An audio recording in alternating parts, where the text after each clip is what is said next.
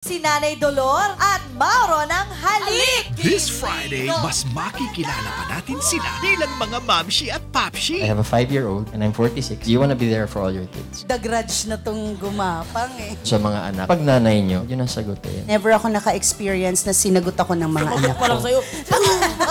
Pag didisiplina ka, dapat do it with love. Crush ko lang si Lino, sasampalin na ako ng nanay ni Lino. Kanya ako si Jane. Bakit ginawa mo yun, ha? Kung pinubo. Magandang buhay!